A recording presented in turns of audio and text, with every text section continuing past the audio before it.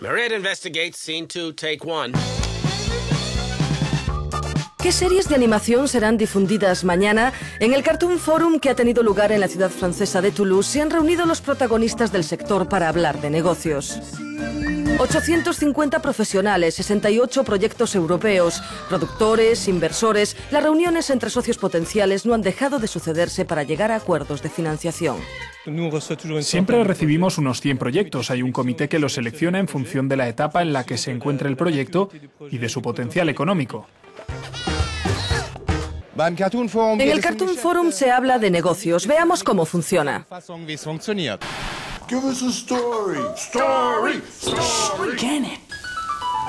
Durante la mañana y a mediodía se presentan los trailers de las series de televisión. Si se quiere saber más, una presentación más detallada es posible en otra sala.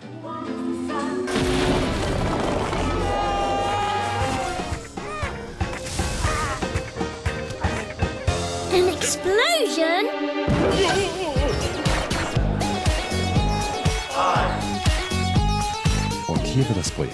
Aquí los productores conocen en detalle los proyectos de animación para televisión.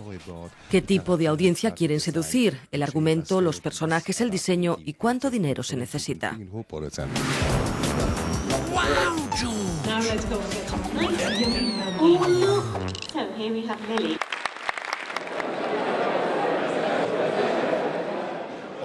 Y tras la presentación, las personas interesadas en colaborar pueden encontrarse en esta esquina llamada Extra Time Corner para establecer un primer contacto. Y esta ha sido una de las series de animación para televisión que más éxito ha tenido en esta edición del Cartoon Forum. Está dedicada a los ninjas y su diseño gráfico recuerda mucho a los famosos Angry Birds. Se trata de un proyecto belga-holandés que se encuentra todavía en fase de producción.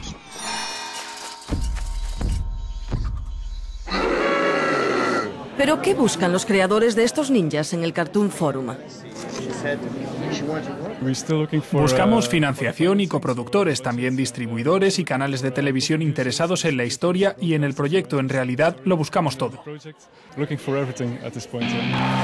Y este es otro de los proyectos presentados, una comedia de animación realizada por dos alemanes establecidos en España.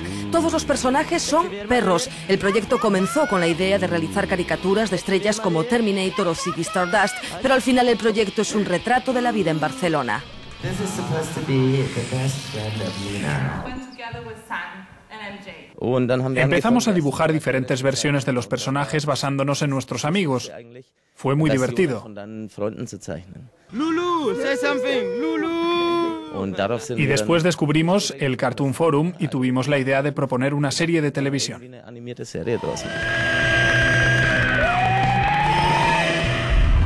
Este proyecto franco-canadiense Urbans, que ha sido concebido como una serie para televisión pero también para la red, nos cuenta el día a día de una gran ciudad en la que el sexo está prohibido por culpa de un virus mortal. Los chicos y las chicas crecen formando bandos rivales, el odio y la rabia los separa. Sus creadores han trabajado con diseñadores, músicos y coreógrafos.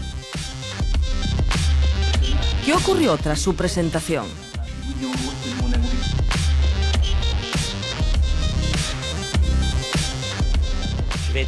Voy a ser muy honesto, estoy súper contento, muy feliz. Soy un hombre feliz.